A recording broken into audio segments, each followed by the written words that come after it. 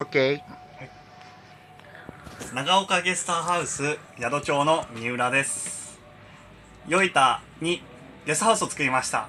このゲストハウスはいろんなところから来る旅人とか、あとは長岡市とか、いろんなその場所から集まったり、よいたの町の人と交流してもらうという風な場所として作りました。ここでいろんな人と集まって、一緒に食べたり飲んだり話したりして、いろんな人の人生聞いたり、い新潟の楽しさとかそういうことを共有できる場所。そういう場所になったらいいなと思いましてこういう場所を作りました。ぜひ遊びに来てください。OK。ヨイタのさ、魅力って、はい。歩きながら喋ろうか。はい。ヨイタの魅力って、はい。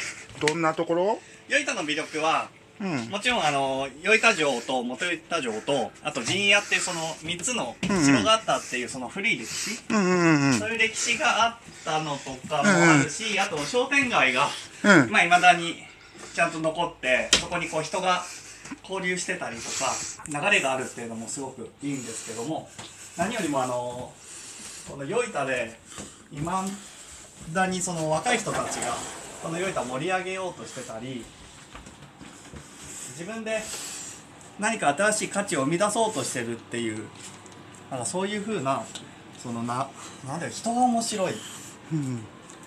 ここ普通ゲストハウスとかあの宿ってなかなかあの人がねその宿って誰が来るかわかんないしうん。なかなかね出入りもあるんで、うん結構そのまあ正直言ってあんまりこう会ってもなんか怖かったりとか多分そういうふうに思う人がきっといるんですけどもうん。でもそれがよいたのそのまあ馬場町なんですけど馬場町の人たちはみんなそれを受け入れてくれていろんな面白い人とか若い人がここで来てもらって、でそれで楽しんでもらえたりとかそういう風なのに協力してくれてるそういう風な空気感がすごくあるんでなんかそういうところはすごくよいたに来てよかったなと思います。馬場京って何？馬場町あのよいたのうん。この町内ですねこの昔あのよいたの町って城下町なんでうん。まあその昔からのそのみょなんかここがどういうふうに使われてるとかそういうのがあるんですけどこの馬場町は馬の場所って書いて馬場町なんですけど、うんうんまあそういうふうな馬がいた場所うんみたいな。であとはその泉町とかううんちの方に泉町とかあったりとか、なんかそういうふうな歴史がまだ名前として残ってる。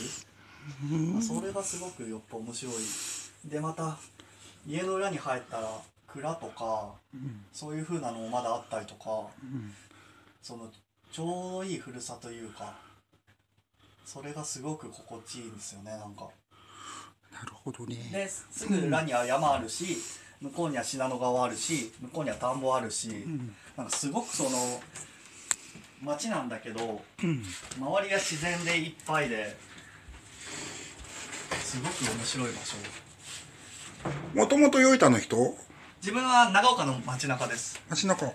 でもまあちょっと自分のその親戚の方がいたりとかうんうんうん。そのつながりは一応あるんですけどもこのまま外出てみようか。出てみますか？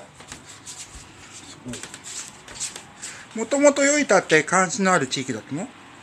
そうですヨイタはそのまあ昔はうん自分の本当のその母方の親戚は中之島のヨイタ寄りなんですよサンドラあったりする？あ、ダメね。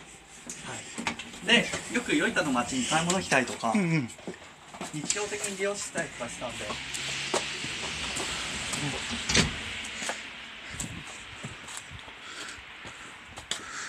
この目の前の天地人通りうんうん。天地人通り。はい、今はこの遊歩道みたいになってますけどでこれをもともとあの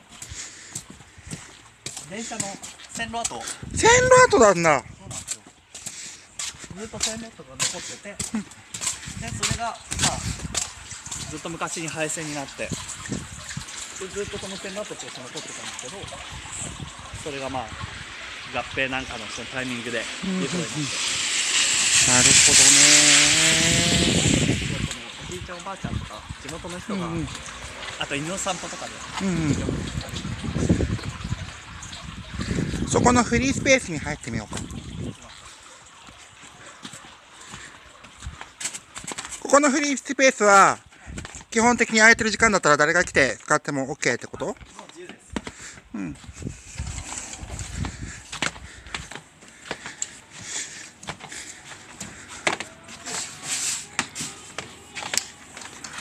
はい。お邪魔します。